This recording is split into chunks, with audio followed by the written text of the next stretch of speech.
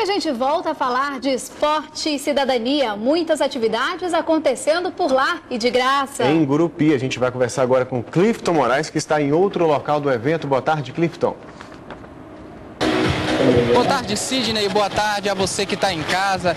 A expectativa aqui está muito boa, viu? Só agora pela manhã foram mais de 2.300 pessoas que participaram das atividades desenvolvidas pelo programa Esporte Cidadania.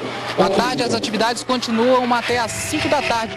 Lembrando que é de graça toda a comunidade. Quem chegar aqui vai poder fazer uma massagem relaxante, medir a pressão arterial, fazer um teste de glicemia, vai fazer algumas consultas odontológicas aí totalmente grátis. Então, Sidney, o evento é aberto expectativa é boa.